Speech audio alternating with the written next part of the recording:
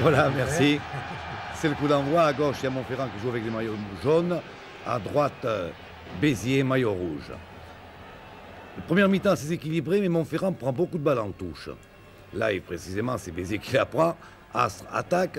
Toujours ces merveilleux enchaînements. Vous voyez, c'est Martin qui met en la balle.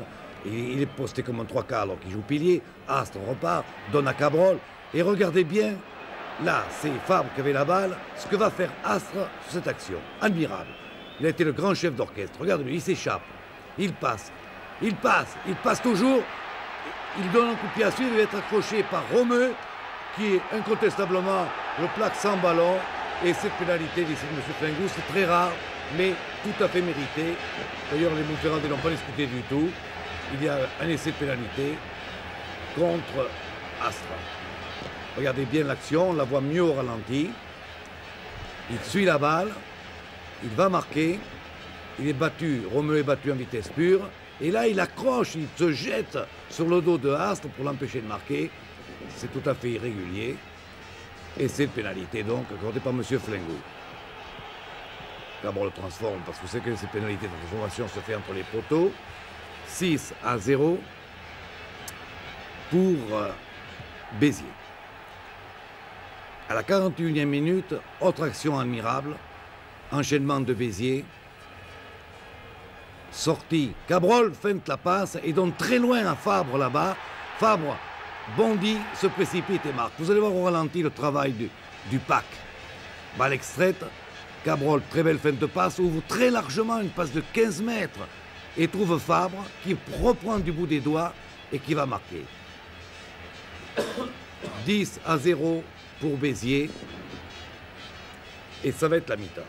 On ne donne pas cher des chances de Montferrand à ce moment-là. 10 à 0, c'est lourd.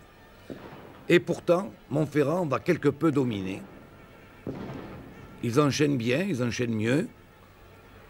Sur cette action, c'est droite court, bien placé, qui va placer un drop, un très joli drop, vous voyez le loin. Et Montferrand remonte 10 à 3. Et à la 49e de la partie, au cours de la deuxième mi-temps, euh, c'est Cabrol qui va réussir une pénalité. Vous allez voir sur quelle action, c'est sur euh, hors-jeu sur Astra. On le voit très bien d'ailleurs. Il part toujours ces fameux enchaînements. Rugby en mouvement, balle jamais enterrée. Sort ah, voyez, il y avait un hors-jeu de Montferrand sur Astra que l'arbitre bien placé siffle et Cabrol euh, à 15 mètres face au poteau, pensez bien qu'il ne va pas louper ça. Et ça va faire à ce moment-là 13 à 3. Voilà du gauche. 13 à 3 donc pour Béziers. Toujours le soleil, toujours la foule, toujours ce jeu aéré, vif, admirable.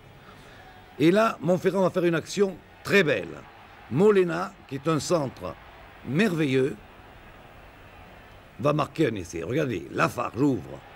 Romeu. Et Romeu ouvre sur Molena et Molena prend ses guiers de vitesse. Regardez ces essais, s'il est beau. Et Montferrand, à ce moment-là, comme l'essai est transformé par Romeu, remonte à 13 à 9 et rien n'est joué, vous voyez, rien n'est joué. 13 à 9, le suspense reste entier et c'est là que Béziers va frapper trois fois et de quelle façon.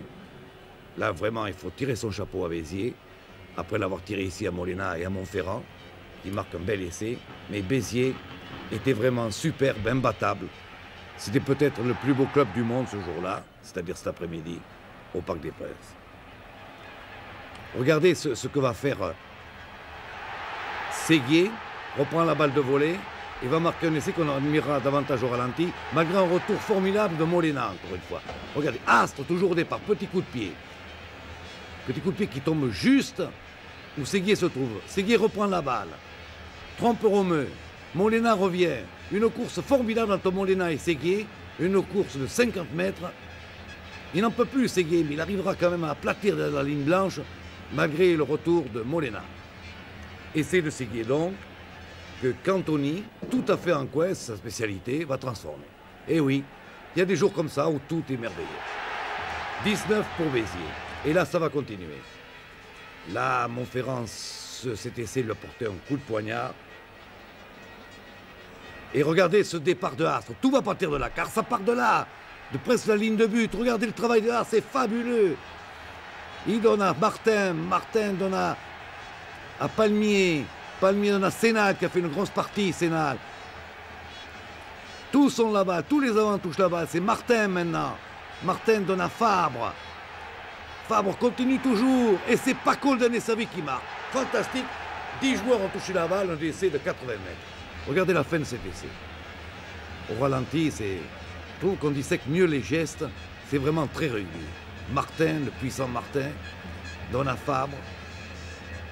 Et Fabre donne à Paco. Bien revenu, toujours bien placé. Et le merveilleux international Paco va marquer un essai de justesse.